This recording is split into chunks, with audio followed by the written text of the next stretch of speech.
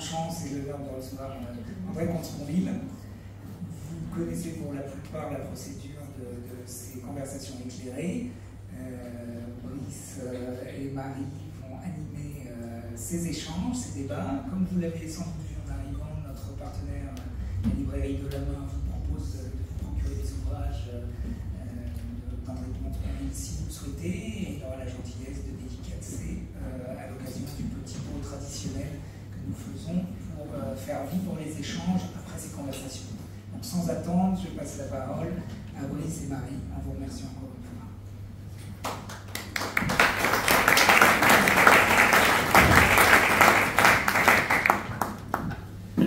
André Comte-Sponville, vous êtes euh, un des très rares cas en France de philosophes à d'autant que votre branche n'est pas la plus populaire de toutes, puisque vous êtes un moraliste et qu'en outre, en tant que moraliste, vous allez garder, de votre marxisme originaire un fond matérialisme euh, philosophique. Vous vous proclamez en outre comme libéral, et ça aggrave votre cas manifestement.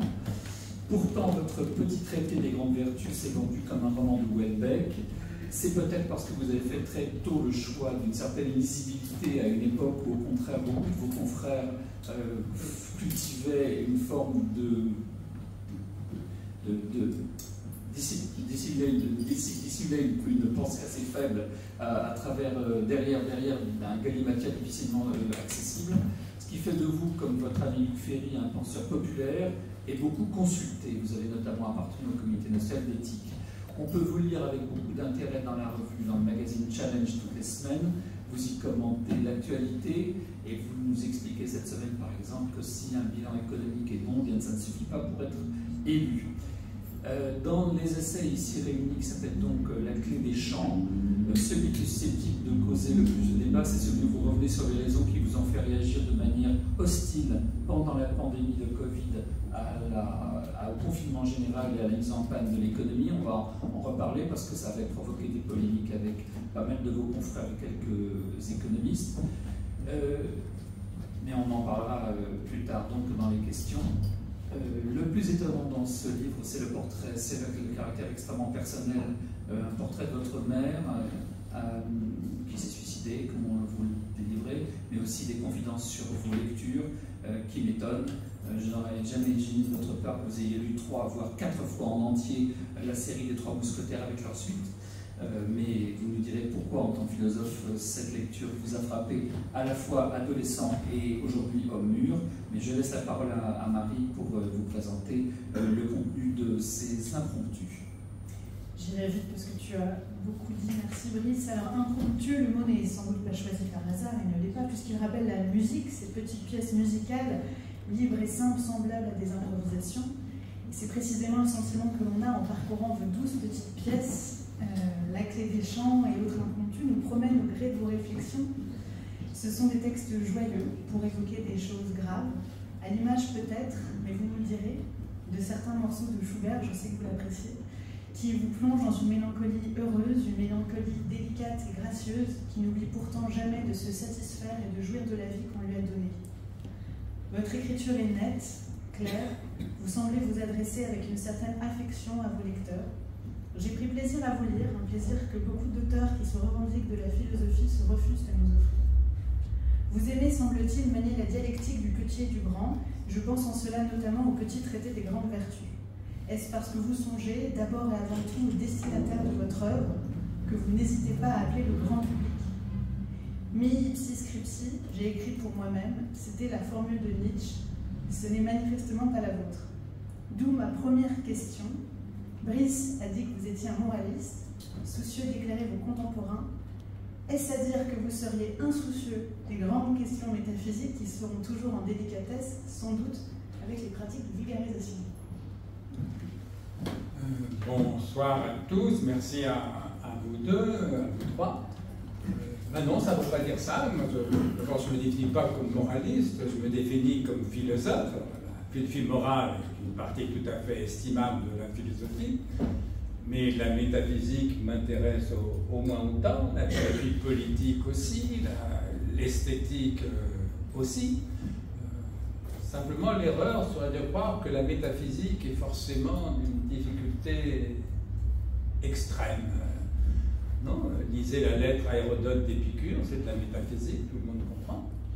Lisez les méditations métaphysiques de Descartes, non seulement c'est de la métaphysique, mais je dis toujours c'est le plus beau livre de philosophie de tous les temps, à mon sens, vous comprenez tout. Voilà. Lisez le Phédon de Platon, c'est de la métaphysique, vous comprenez tout. Qu'est-ce que c'est que cette histoire que la métaphysique serait inintelligible? Elle n'est inintelligible que lorsqu'elle est allemande. Il se trouve que je suis un philosophe français.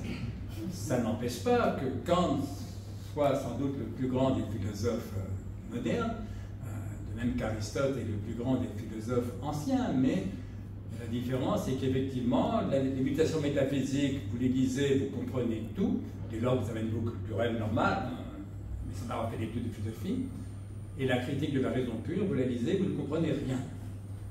Je ne fais pas de hiérarchie entre ces deux livres, ce sont deux sommets absolus, si vous voulez, voyez, mais c'est quand même très singulier. Un, on comprend tout, l'autre, on comprend rien.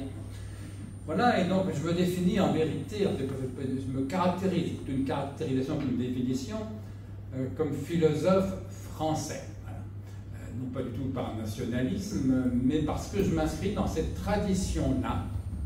Euh, vous savez, ça va pas être trop long, mais il y a 20 ou 30 ans, je ne sais plus, une revue allemande m'a demandé un article de 20 feuillets sur, disait-il, la philosophie française. 20 feuillets sur la philosophie française, je ne savais pas bien ce que ça voulait dire. Je me suis dit, ben bon, il faut choisir évidemment. Donc, je me suis demandé quels sont les trois plus grands, les trois plus grands livres de philosophie française. Et spontanément m'est venu immédiatement, je n'ai jamais changé depuis, les essais de Montaigne, les méditations métaphysiques de Descartes, les pensées de Pascal en cherchant mais plutôt en amont, là où la tradition n'est, qu'en aval. Quels sont les plus grands livres de la tradition allemande? Euh, Alors, je me suis dit la monadologie de Leibniz, euh, la critique de la raison pure de Kant, et disons la phénoménologie de l'esprit de Hegel. Quels sont les trois plus grands livres de la tradition anglo-saxonne? Alors, je me suis dit le, Léviathan de Hobbes, euh, le traité sur l'entendement humain de Locke et le traité de la nature humaine de Hume. Là, ça devient intéressant, parce qu'on a neuf livres des trois plus grandes traditions philosophiques modernes, on laisse les Grecs de côté, on laisse l'Antiquité de côté, euh, on a neuf livres, qui sont neuf sommets, et donc l'idée de faire une hiérarchie euh, me paraîtrait saugrenue. Quand on les compare, les différences sont dire. La première, je l'ai dit, les trois Allemands, parce que je dis c'est fréquent, et la monadologie, c'est pareil, vous ne comprenez rien, et la phénoménologie, vous ne comprenez rien. Alors, vous prenez les Anglais, vous comprenez, mais vous trouvez ça un peu plat. un peu plat. Pourquoi plat Parce que ces génies empiristes, ils sont des empiristes, euh, ils philosophent du point de vue du sujet anonyme d'une expérience quelconque. Comme le sujet est anonyme et comme l'expérience est quelconque, c'est plat, forcément. Euh, alors que Montaigne Descartes, Pascal, philosophe à la première personne, très grande singularité. Hein. C'est moi que je peins, écrit Montaigne dans les essais. Les, méditations métaphysiques, c'est quoi? C'est l'histoire d'un esprit, disait le professeur Alquier. C'est vrai, c'est une autobiographie intellectuelle. Euh, c'est inouï, le type il raconte sa vie et c'est un chef-d'œuvre absolu. Et, Pascal, euh, il a beau critiquer le sot projet que Montaigne de se peindre, il suffit d'ouvrir les pensées pour constater le dit lui-même des fois, on ouvre un livre, on s'attend à voir un auteur, et tout d'un coup, c'est un homme qu'on découvre. Voilà, philosophie à la première personne, philosophie claire, Montaigne, Descartes, Pascal, vous comprenez tout. Philosophie tellement bien écrite que personne jamais n'a trouvé sa place. Hein. Euh, parce que ce sont d'immenses écrivains. Et ça, c'est une singularité française. Leibniz, Kant et Hegel, il n'y a pas un seul grand écrivain dans les trois. Le seul grand écrivain allemand, c'est Philosophe, c'est le seul plus du c'est Nietzsche. Justement, Nietzsche a toujours préféré les penseurs français aux philosophes allemands. Locke, Hobbes, Locke, Hume, il n'y en a pas un qui soit un grand écrivain, si vous voulez. Montaigne, Descartes, Pascal, ce sont d'immenses écrivains, et même, s'agissant de Montaigne et de Pascal, des écrivains de génie absolu. Voilà, et moi, c'est ça qui m'a touché. J'ai toujours été fasciné par, Pascal, par Descartes, par Montaigne beaucoup plus tard, parce que j'ai lu Montaigne bien après les, deux autres, mais ça me fascine. Voilà, alors, encore une fois, ce n'est pas de hiérarchie.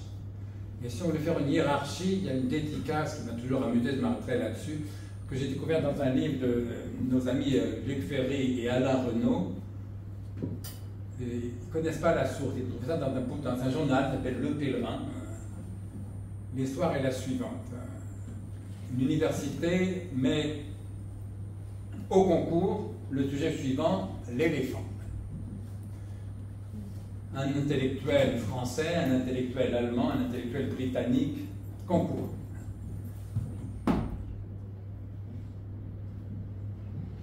Je vais faire dans, l'ordre de, l'histoire. Euh, le Britannique monte une expédition, d'abord en Afrique, un an, puis en Asie, un an, prend des milliers de pages de notes et livre, au bout de deux ans, un livre plein d'informations extrêmement précises, extrêmement sûres, mais d'une assez grande platitude. Le français ne monte aucune expédition. Il va au jardin des plantes, devant la cage des éléphants, jette quelques cacahuètes à l'éléphant derrière la grille, rentre chez lui et écrit en 15 jours un essai extrêmement brillant et talentueux, mais quelque peu superficielle. L'Allemand ne monte aucune expédition, ne va même pas au Jardin des Plantes, il s'enferme chez lui et il écrit un gros traité très difficile dont le titre est le suivant, Le concept transcendantal d'éléphant déduit du moi. C'est drôle, mais c'est d'autant plus drôle que c'est vrai. J'en ai souvent parlé avec lui, quand on connaît les deux, trois traditions, c'est drôle. Et, y compris la part, de superficialité des Français. Vous voyez, euh, oui, parce que tes cartes, euh, ils prouvent l'existence de Dieu en, 15 pages. La, quatrième méditation, ça s'appelle Deux dieux et deux recherches qu'il existe.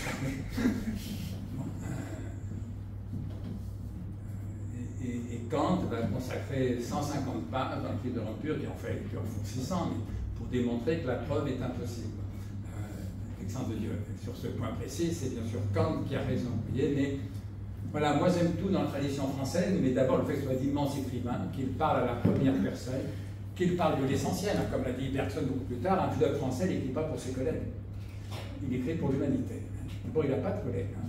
Montaigne, il n'y a pas de collègues, Descartes non plus, Pascal non plus. C'est les Allemands qui sont profs.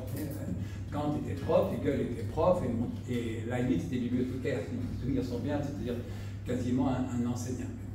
Voilà, donc moi c'est ça, euh, ni moral, enfin, moraliste, je n'ai rien contre, je, je suis philosophe, mais dans une tradition particulière qui est la tradition française. Merci pour cette démonstration éclairante. Si on rentre davantage dans votre livre, vous évoquez le premier texte qui ouvre votre ouvrage euh, porte sur la question de l'euthanasie, à laquelle vous dites être favorable. Alors j'ai été très convaincue par votre argumentation, vous allez sans doute nous la rappeler un peu. En revanche, je ne suis pas d'accord quand vous dites, en citant Montaigne justement, que mon corps m'appartient et que ce faisant, j'ai le droit d'en disposer comme je l'entends. Vous dites que notre corps n'appartient pas à l'État, sinon c'est aliénation. Or, moi, il me semblait que depuis Thomas d'Aquin, bien qu'une certaine façon, notre corps appartient ou à Dieu ou à l'État, par souci de protéger les individus qui habitent ce corps de leur marchandisation. C'est la raison pour laquelle, pardon d'être euh, aussi euh, longue, la GPA est toujours interdite dans notre pays. C'est aussi la raison pour laquelle le don d'organes est gratuit. On a assez vu qu'en cas de guerre, l'État était légitime à réquisitionner des citoyens. Et je crois que dans l'article 16 du Code civil, il est stipulé que je suis mon corps et qu'il n'est pas ma propriété. Alors évidemment, je me place sans doute dans une lecture française de la propriété du corps, mais est-ce qu'on est peut vraiment dire qu'en France, mon corps m'appartient? Est-ce que j'utilise l'expression mon corps m'appartient Vous dites que notre corps n'appartient pas à l'État. Ah ben c'est pas la même chose.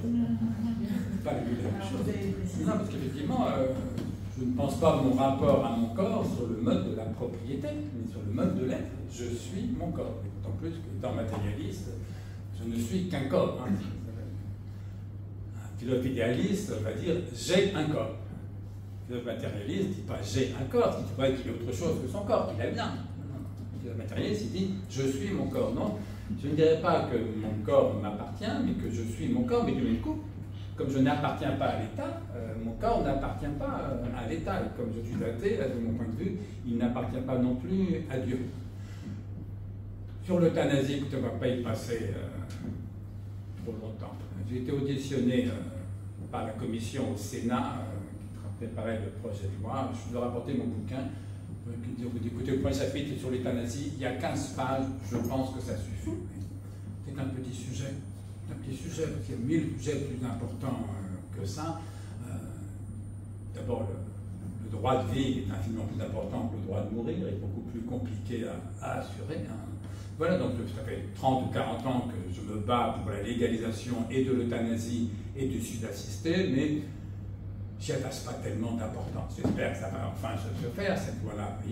Voilà, donc en 15 pages, moi j'étais. Parce que, n'imaginez pas le nombre d'éditeurs qui me demandaient de faire un livre sur cette question-là. J'ai toujours refusé. De faire 300 pages sur l'euthanasie, le suicide, quel galère. Non, non, mais voilà, 15 pages, ça me paraît bien. Oui, un mot sur les impromptus. Pour moi, c'est le genre le plus français qui soit, parce que c'est écrit, hein, j'essaie de bien écrit, ça s'adresse à tout le monde, c'est beaucoup plus grand public que certains autres de, mes livres. Euh, et ça peut être des fois légèrement superficiel, et ça, ça ne me déplaît pas du tout, vous voyez, parce que, voilà, sur, l'euthanasie en 15 pages, je ne prétends pas avoir fait le cours du je pense avoir dit l'essentiel, au moins de mon point de vue. L'essentiel, c'est quoi? Ben, C'est que le droit de mourir fait partie des droits de l'homme. On a le droit de mourir, d'ailleurs, personne ne le conteste aujourd'hui, en tout cas, l'Église longtemps contesté, le conteste encore, mais en tout cas pour de la République française, le suicide n'est pas un délit. Euh, donc j'ai le droit de me suicider. Bizarrement, l'assistance au suicide en est un. Remarquez euh, qui s'y connaît en droit, c'est bizarre parce que pourquoi le fait d'aider quelqu'un à faire quelque chose qui n'est pas un délit serait un délit? Euh, Alors on me dit souvent, mais si tu veux te suicider, tu n'as pas besoin d'un médecin. Tout à fait, quoi que ce ne soit pas si facile que ça. Moi, j'ai pas de revolver chez moi, j'ai pas de, poison chez moi. Euh, ce qu'il faut faire comme Gilles Deleuze, 70 ans, souffrant terriblement d'une très grave insuffisance respiratoire, qui voulait en finir, à 70 ans on a le droit quand on souffre à ce point, et qui n'a réussi à en finir qu'en se jetant par la fenêtre du cinquième étage où il habitait. Qui a, lui, pour soi, ou pour ses proches, d'une mort pareille Encore faut-il pouvoir se jeter par la fenêtre du cinquième étage. Donc encore faut-il pouvoir être en assez bonne santé. Donc oui, tant que je suis en bonne santé, je peux me suicider, même si les façons, faute d'avoir une arme ou un poison, sont souvent très désagréables. Mais si je suis en bonne santé, pourquoi voulez-vous que je me suicide? C'est idiot, moi j'aime la vie, j'ai aucune raison de mourir. Imaginez à l'inverse que j'ai un AVC en quittant euh, cette soirée, je me retrouve hémiplégique à l'hôpital.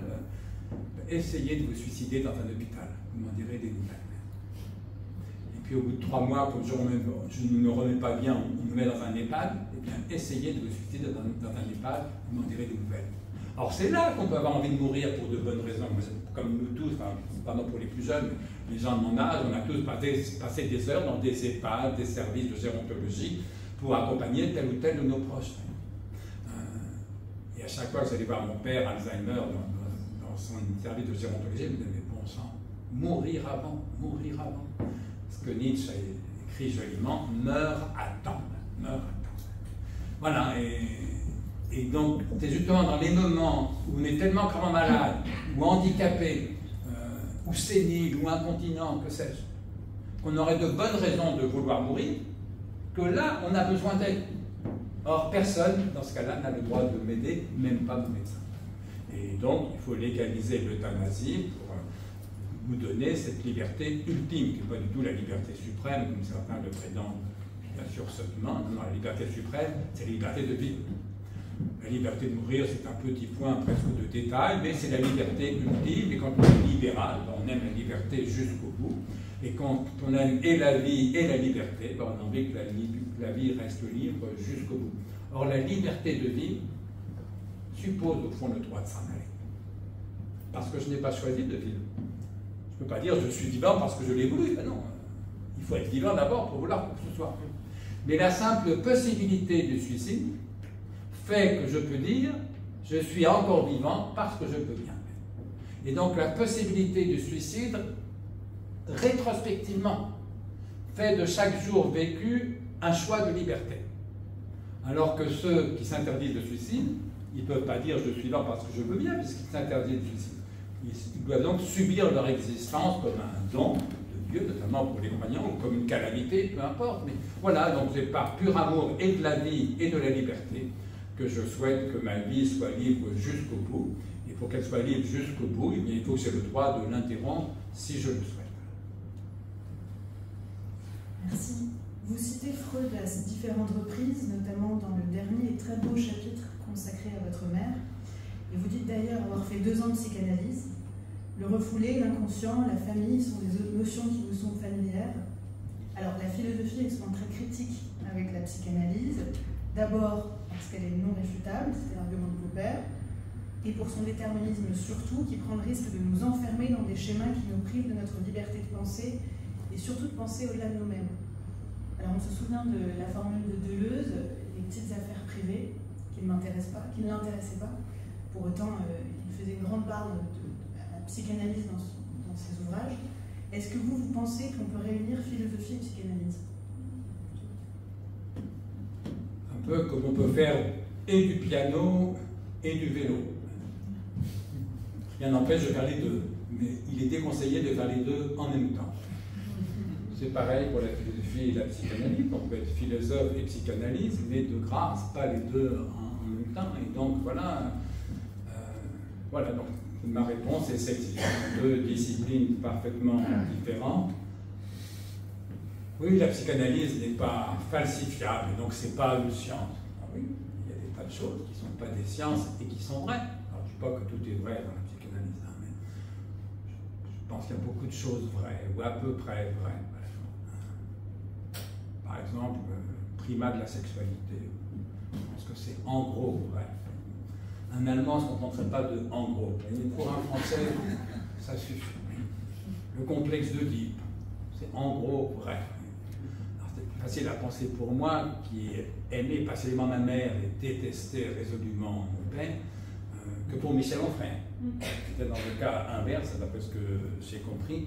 Et donc Michel Onfray en conclut que le complexe de Deep, ça n'existe pas, ou ça n'existait qu'une seule fois chez Freud. Freud vous dit le complexe de Deep, c'est universel. Une pensée d'allemand. Pourquoi voulez-vous que tout le monde fasse le complexe de quand Michel Onfray dit il y a eu un seul cas de complexe de Deep, c'est celui de Freud lui-même, ça me paraît quand même exagéré. Donc voilà, moi je pense que le complexe Deep, c'est pas c'est pas un mythe, c'est pas n'importe quoi, c'est pas ce type. Je pense que c'est souvent vrai. Mais je pense qu'il y a des cas où il n'y a pas de complexe de Deep.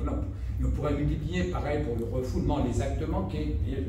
Y a des actes manqués qui sont vraiment des, symptômes pour lesquels euh, la, pensée de Freud est éclairante, puis il y a des tas d'actes manqués dont je pense que ce n'est pas du tout une expression d'inconscience, une marque de fatigue ou, que sais-je. Voilà, donc, mais en même temps, Freud continue à m'importer, voilà, de moins en moins, euh, honnêtement. Quand j'ai commencé à écrire mes premiers livres, j'expliquais aux premiers journalistes qui m'interviewaient qu'au fond, ma pensée s'appuyait sur quatre pierres d'angle, qui étaient à l'époque Épicure, Spinoza, Marx, Freud. Euh, Marx et Freud aujourd'hui beaucoup moins qu'Épicure et Spinoza. Épicure et Spinoza un peu moins qu'à l'époque, et un peu moins que Montaigne et Blaise Pascal. Euh, oui, parce que finalement, euh, ce sont des génies immenses, hein, Épicure et Spinoza, peut-être spécialement Spinoza, dont je reste à bien des égards très proche pour ce qui est de la métaphysique. Ma métaphysique est très proche de, celle de Spinoza, sans se ramener une fois à la sienne. Il y a juste deux deux réserves. La première, c'est qu'il est certain d'avoir raison. il y a quelque chose qui n'est pas falsifiable, à côté de Freud ne l'est pas, de Spinoza encore moins, si vous voulez. Et donc Spinoza écrit dans, dans une lettre Je ne prétends pas avoir la meilleure philosophie, mais je sais que j'ai connaissance de la vraie philosophie. C'est inouï de poser dire ça. Et donc ça veut dire qu'il n'a pas compris ce qu'il faisait. C'est grave pour un ça une boutade, c'est plus qui disait pour rire, Beethoven, il était tellement sourd que toute sa vie, il a cru qu'il faisait de la peinture. il m'est arrivé de dire Spinoza, il était tellement dogmatique que toute sa vie, il a cru qu'il faisait de la géométrie. Maurice Geometrico, hein, l'éthique est écrite à la façon des, des géomètres. Donc, un, Spinoza, génial qu'il soit, se trompe sur la philosophie. Deux, euh, il se trompe sur la sagesse.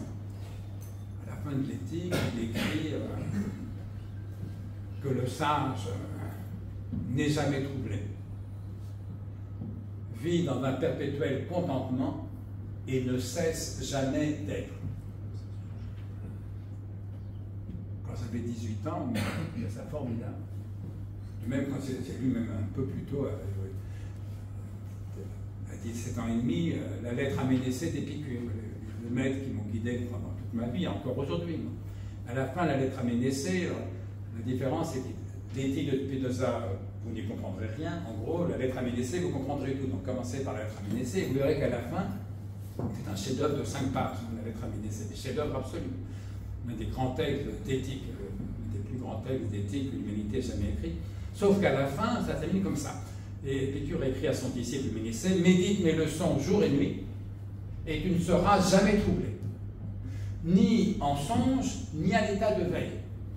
Mais tu vivras comme un Dieu parmi les hommes, car il ne ressemble en rien à un être mortel, celui qui vit parmi des biens immortels. Moi, j'ai dit ça à 17 ans et demi, 18 ans, ça m'a bouleversé.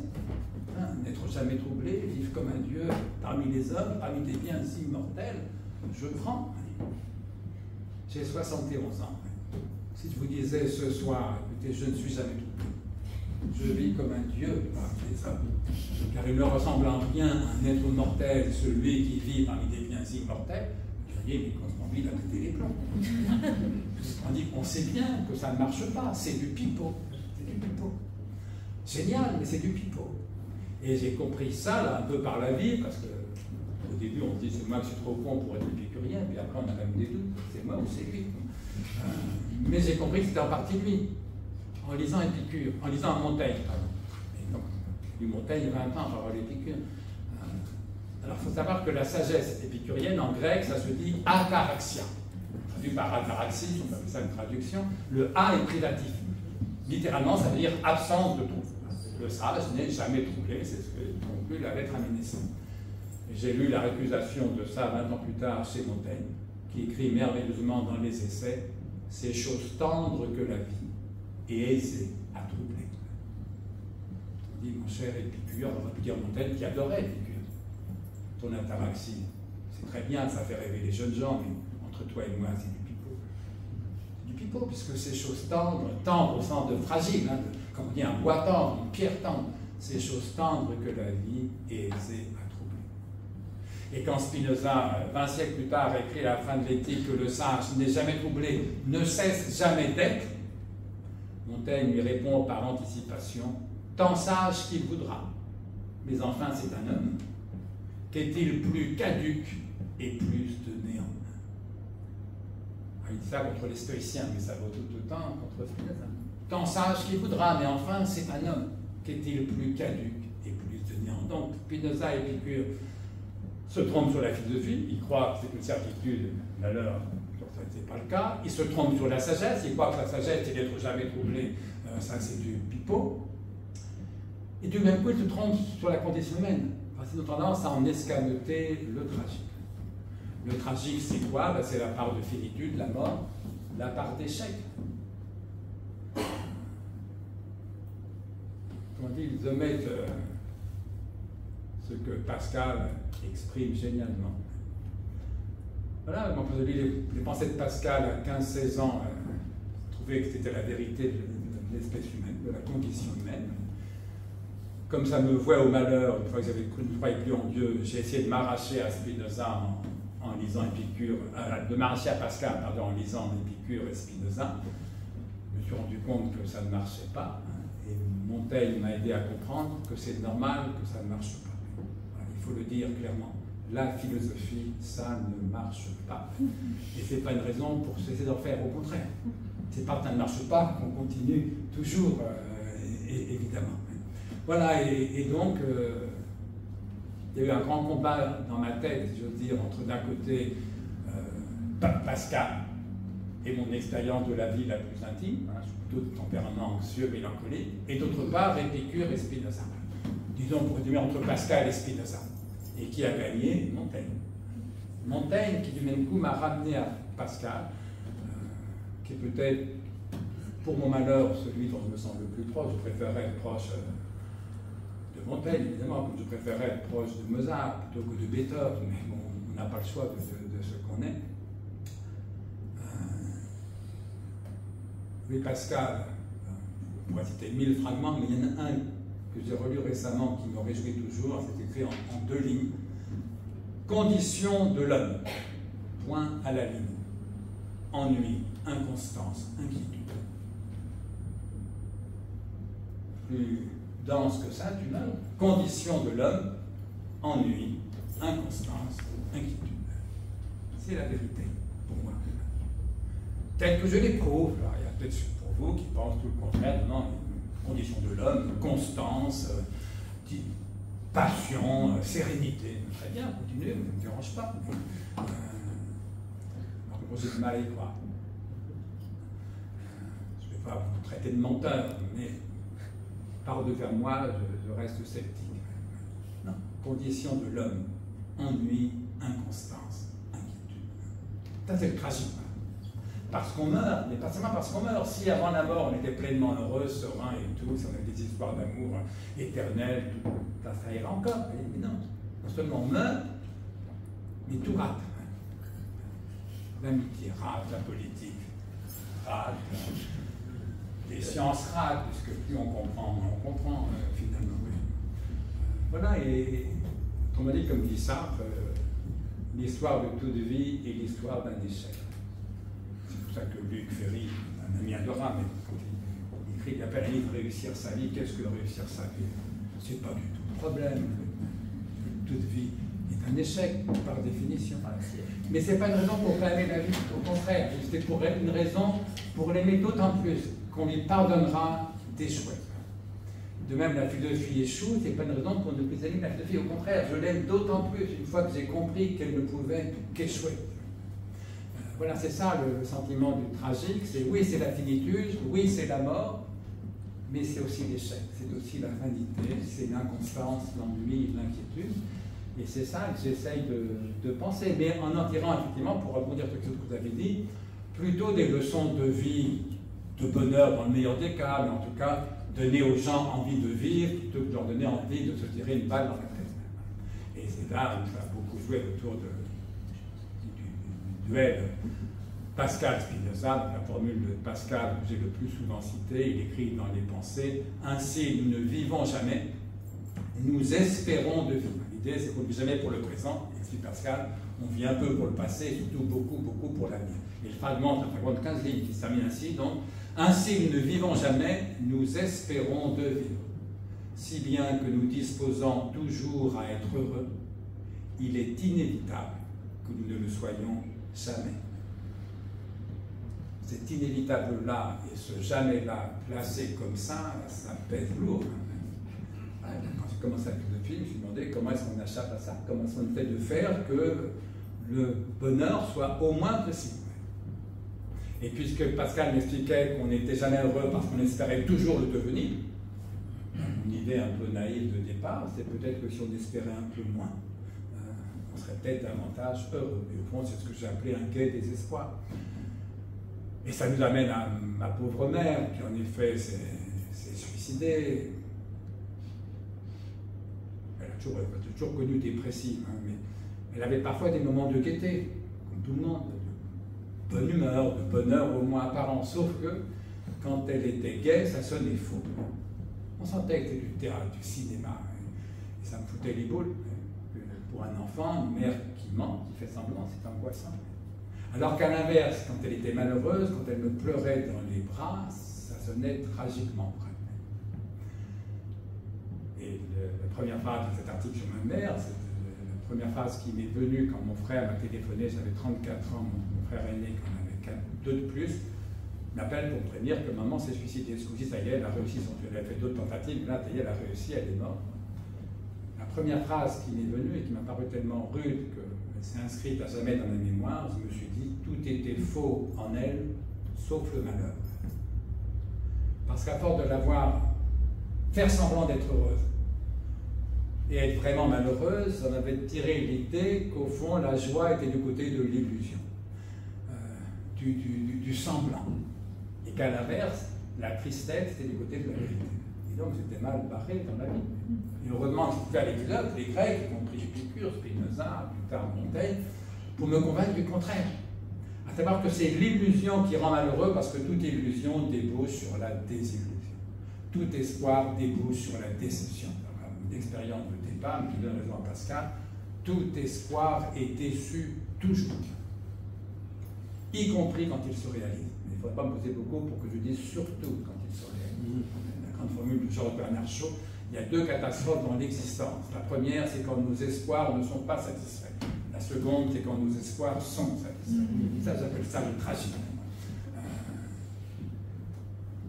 Euh, et alors, quand, du coup, j'ai fait mes premiers livres pour m'échapper, euh, me guérir du malheur de ma mère. toute mon enfance, j'ai grandi dans le malheur de ma mère. J'ai fait la pour essayer de m'arracher à son malheur. Donc j'ai fait des premiers livres, une critique de, l'espoir, critique de l'espérance, critique des illusions, etc. Et l'une des premières lettres de lecteurs que j'ai reçues m'était écrite par un psychanalyste que je ne connaissais pas, que je ne connais toujours pas d'ailleurs. Mais à l'époque, je connais très peu de lettres de lecteurs. Là, c'est un lecteur, psychanalyste, qui me dit J'ai lu votre livre, le mythe d'Icare, parfaitement d'accord avec ce que vous dites, la critique que vous faites de, de l'espoir, parce que, me disait-il, et là je le cite mot pour mot, en tant que psychanalyste, je constate que l'espérance est la principale cause de suicide. Deux points. On ne se tue que par déception. Ça m'avait tellement frappé que là encore, j'ai retenu la, formule. Deux ans plus tard, ma mère se suicide. Je me suis dit, ben voilà, le psychanalyste avait raison. Maman s'est tuée par déception. Elle s'est tuée parce que depuis des décennies, la vie ne correspondait pas aux espoirs qu'elle s'en était faite je vais vous dire, la vie ne correspond jamais aux espoirs qu'on s'en est fait. si on a compris quelque chose de clair, euh, c'est ça. Sauf que l'erreur de beaucoup de gens, et l'erreur de ma mère, c'est quand la vie ne correspond pas aux espoirs qui s'en étaient faits, d'en conclure que c'est la vie qui a tort. Mais qu'est-ce que ça peut vouloir dire que la vie a tort? La vie, elle fait ce qu'elle peut. Moi, mon idée, c'est que lorsque la vie ne correspond pas à nos espoirs, c'est-à-dire quasiment toujours, ça ne veut pas dire que c'est la vie qui a tort, ça veut dire que ce sont nos espoirs qui, dès le départ, sont vains, illusoires, mensongers. Non pas qu'il faille s'interdire d'espérer, comme je le dis des fois dans des comptes rendus dans la presse, je n'ai jamais été assez bête pour dire ça. Pourquoi? Parce que j'ai souvent cité la formule de Spinoza, il n'y a pas d'espoir sans crainte, ni de crainte sans espoir. Et donc, dès que vous avez peur de quelque chose, vous espérez. Votre gamin a 42 fièvres, vous espérez qu'il guérisse. Je vous modifie de ne pas espérer que votre gamin guérisse s'il a 40 de fièvre. Et donc, il n'y a pas d'espoir sans crainte, ni de crainte sans espoir. Dès qu'on a peur, on espère. Et comme moi je suis un anxieux, j'ai peur de mille choses, donc j'espère mille choses. Il ne s'agit pas de s'interdire d'espérer, il s'agit d'espérer un peu moins quand on peut, donc de craindre un peu moins quand on peut, et surtout de connaître, d'agir et d'aimer un peu plus. Voilà, donc vous appelez une sagesse du guet des espoirs, c'est essentiellement une sagesse de la connaissance, ça c'est mon côté spinoziste, une sagesse de l'action, c'est mon côté stoïcien, une sagesse de l'amour, c'est mon côté euh, épicurien, spinoziste euh, et chrétien, finalement. la grande formule de Saint Augustin, au paradis, dans le royaume, il n'y aura plus la foi, il n'y aura plus l'espérance, il n'y aura plus que l'amour. Et mon pari d'athée fidèle, c'est que nous sommes ici et maintenant dans le royaume. Il n'y a donc rien à croire, parce que tout est à connaître. Il n'y a rien à espérer, parce que tout est à faire ou à aimer. À faire pour ce qui dépend de nous, à aimer pour ce qui n'en dépend pas. Voilà, et là, ça bouclait la boucle, je retrouvais y compris, on n'a pas parlé, mais mon catholicisme d'enfant et, d'adolescent, c'est-à-dire que, au fond, les évangiles étaient quand même l'un des beaux livres de l'humanité. c'est moins beau que Montaigne, Pascal, mais parmi les textes religieux de l'humanité, euh, c'est bien quand même. C'est bien, voilà, et c'est ça que j'essayais de, de, penser dans, tout, dans, tous mes livres. Et là, c'est la version, c'est un impromptu, la plus subjective, la plus littéraire, la plus, légère, en quelque chose. Un impromptu, c'est le contraire d'un traité. J'ai écrit deux traités, euh, j'ai le droit euh, de, de, faire trois recueils d'impromptu. Mais c'est vrai qu'au fond, pour tout vous dire, le genre que je préfère, c'est quand même le genre des impromptus. Alors, dans ces impromptus, vous revenez sur une des polémiques euh, que vous aviez déclenchées pendant le confinement, pendant l'épisode du Covid, et qui vous avait valu pas mal de critiques, euh, pas mal de polémiques. Vous avez pris à cette époque position pour la jeunesse, contre les vieux, dont nous faisons partie, vous et moi, en disant qu'après tout, puisque le Covid ne tuait que les vieux, il était peut-être exagéré d'avoir mis l'économie en panne, parce que mettre l'économie en panne du pays, c'était pénaliser la jeunesse, qui elle était très peu exposée finalement au risque du Covid, en tous les cas au risque mortel. Et en, mettant euh, le, pays en panne, vous expliquiez que c'était sacrifier à la médecine l'économie, et qu'après tout, les hôpitaux aussi sont tributaires du progrès économique et de, du, PIB, que par conséquent, c'était une mauvaise idée, que vous étiez prêt vous-même à vous exposer à la maladie et au risque de la mort. Et ça vous a valu encore une fois pas mal de polémiques de gens qui disaient la santé, ça n'a pas de prix. Qu'est-ce que vous répondez aujourd'hui encore à cet argument-là? D'abord, j'ai envie de dire que c'est un peu retombé, cette histoire-là. À l'époque, j'ai choqué, ça m'a surpris de choquer à ce point d'ailleurs. Aujourd'hui, je ne dirais pas que l'avenir me donne raison, mais enfin, ça ne plus personne, on dirait que dans la municipale, le nombre d'éditeurs qui demandaient, quand ils m'ont vu à la télé, euh, tout début du, premier confinement, voire avant, ça fait un buzz d'ampleur. Apparemment, ils n'avaient jamais eu un tel buzz sur la scène. Jamais Voilà, il y a 10 éditeurs qui m'ont dit Faites un livre là-dessus. J'ai refusé. Là, c'est pareil, j'ai dû faire 20 pages, 20 pages sur la Covid, c'est déjà beaucoup. En gros, ça n'arrivait pas à avoir peur deux raisons. La première, je comprends très vite, parce que je l'a su très tôt, que mes enfants, qui, étaient des trentenaires, l'aîné va avoir 40 ans hein, dans quelques jours, ne risquaient en gros rien. Pour le père anxieux que je suis, chaque matin, c'était de joie. Enfin, pour une fois, mes enfants courent moins de risques que moi. Donc, j'étais d'abord soulagé. La Covid, pour moi, c'est un grand soulagement. Euh, alors, quant à moi, je me renseigne sur le taux de létalité, on me dit zéro. En gros, à l'époque, on a suggéré que c'était moins de 1%. Maintenant, les spécialistes disent entre 0,3 et 0,7%. Pourquoi avoir peur à ce point d'une maladie qui n'est létale que dans, en gros, moins de 1% des cas? Euh, Et beaucoup moins de 1% quand on avait, l'âge que j'avais l'époque, 68 ans. Et puis, il faut bien mourir quelque chose mourir de la Covid, c'est pas la pire mort, j'imagine. J'ai beaucoup moins peur de la Covid que de la Corée de Huntington, de la maladie de Charcot ou même de la maladie d'Alzheimer, qui est beaucoup plus fréquente. Il y a 225 000 cas d'Alzheimer, rien qu'en France, 225 000 cas chaque année. Chaque année. Il y a plus de cas de Covid, ne pas chaque, chaque année. Sincèrement, vous préférez quoi? Votre médecin vous dit écoutez, je suis désolé, vous avez attrapé la Covid ou bien je suis désolé, vous, êtes, vous commencez maladie d'Alzheimer. Mais c'est pas du tout la même chose. La Covid, on dit merci docteur, euh, combien je vous dois? Euh, Alzheimer, il faut se tirer une balle dans la tête le plus vite possible, du moins c'est ce que je, pense moi. Donc j'arrivais pas à en avoir peur. donc j'étais parfaitement serein. Pour une fois, tout anxieux que je sois, j'étais parfaitement serein. Et tout d'un coup, j'apprends qu'on ferme toutes les écoles, tous les collèges, les lycées, les facs. Je me dis, mais c'est une histoire de fou on est en train de sacrifier l'éducation de nos enfants, et je sais qu'elle est difficile, qu'elle marche mal, à la santé, même pas de leurs parents, mais à la santé de leurs grands-parents. Je trouvais ça fou. Et puis après le premier confinement, je me dis, mais ça va coûter la peau des fesses. Et d'évidence, c'est pas en ruinant le pays qu'on va sauver nos hôpitaux. Donc, donc j'avais pas peur, euh, et je trouvais que l'économie est une chose très importante, et qu'en plus, sacrifier l'économie, c'était sacrifier les jeunes, c'était sacrifier les pauvres que les, riches sont riches plutôt plus pendant la pandémie qu'avant ou qu'après. Hein. Mais les pauvres se sont totalement appauvris. On a revu des milliers de gens souffrir de la faim dans telle ou telle euh, cité de, de banlieue. Donc sacrifier l'économie, c'est sacrifier les jeunes, c'est sacrifier les pauvres, c'est sacrifier les femmes. On a plusieurs études très documentées qui montrent que les femmes ont beaucoup plus souffert des différents confinements, surtout du premier, et pas seulement à cause des violences conjugales, hein, mais à cause de leur statut économique différent, etc. Sacrifier les jeunes, sacrifier les pauvres, sacrifier les femmes, j'ai du mal à y voir un triomphe de l'humanisme. Or, c'est ça que disaient mes amis. Luc, euh, Francis Wolff, euh, en gros, euh, il m'expliquait c'est la première fois qu'on sacrifie l'économie à la santé, victoire de l'humanisme. Oui, c'est vraiment tout le constat, c'était la première fois qu'on sacrifiait l'économie à la santé. Ce que je leur disais, ben voilà, sacrifier l'économie à la santé, c'est sacrifier les jeunes, c'est sacrifier les pauvres, c'est sacrifier les femmes. Ce n'est pas une victoire de l'humanisme, c'est une victoire de ce que j'appelle le pan-médicalisme. L'idée absurde de faire de la santé la valeur suprême. Double erreur. Un, la santé n'est pas une valeur suprême. Deux, elle n'est pas une valeur du tout. Alors, elle n'est pas la valeur suprême.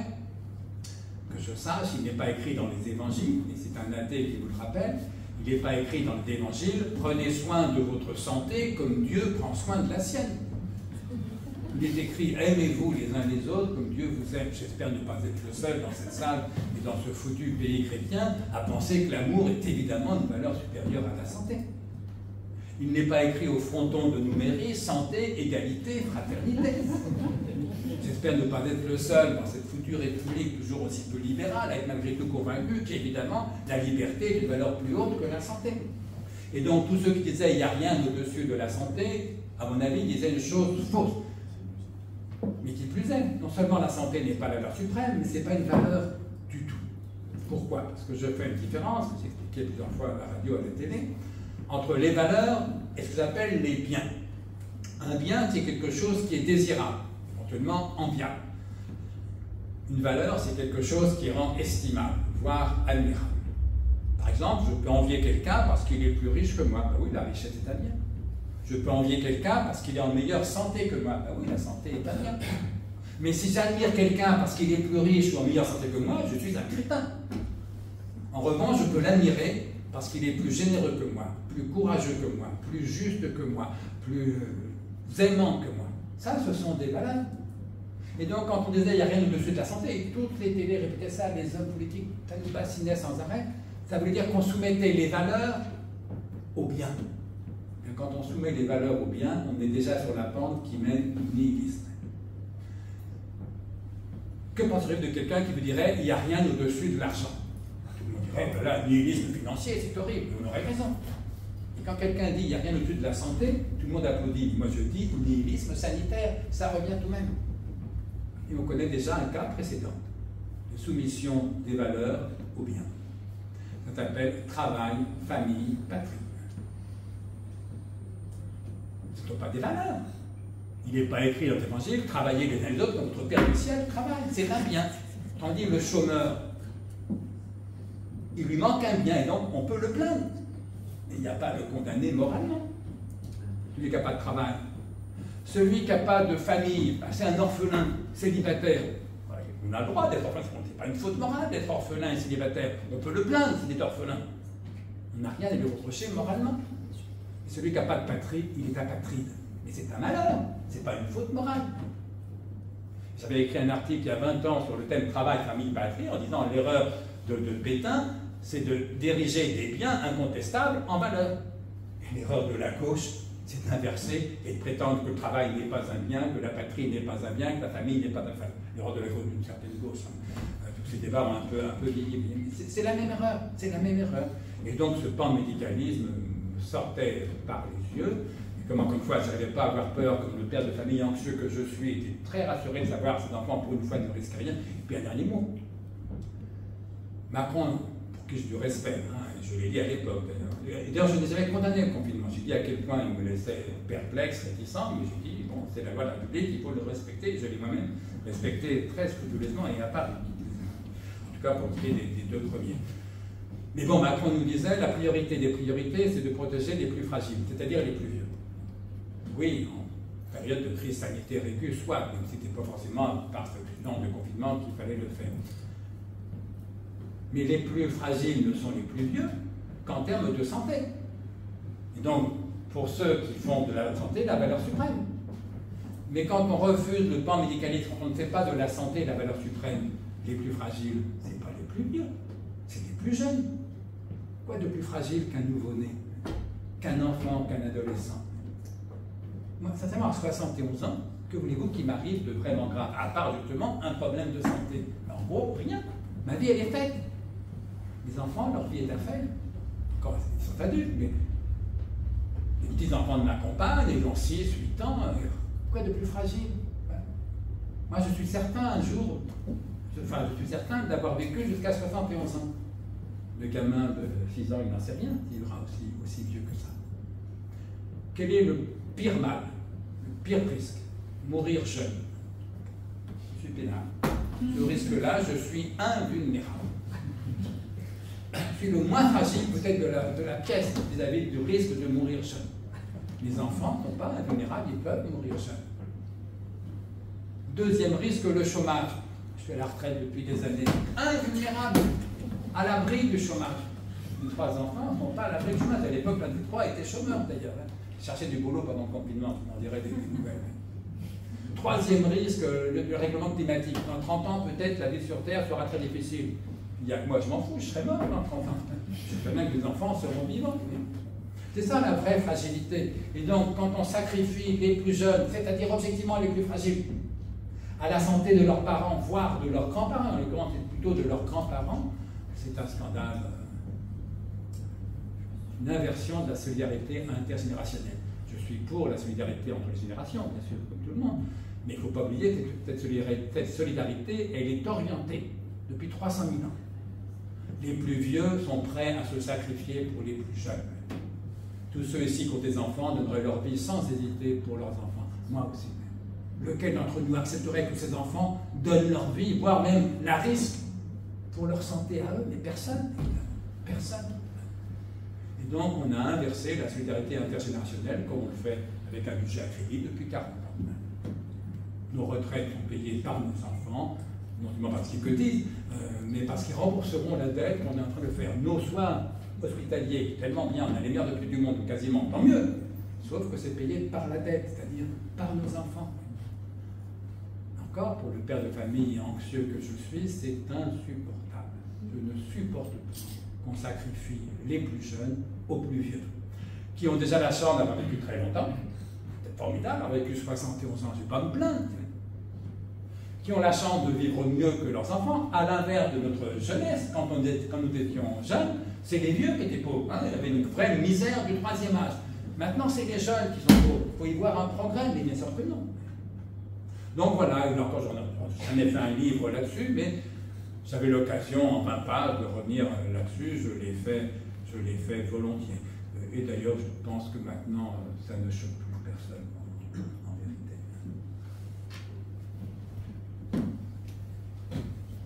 Peut-être est-il temps de conclure.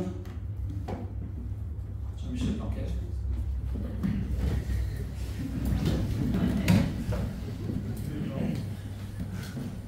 La question de Vincent.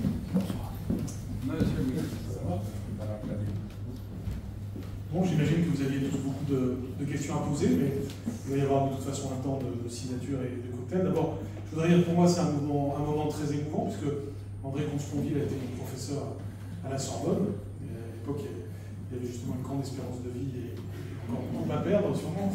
Et, il, était brun avec une moustache et, il enseignait le stoïcisme.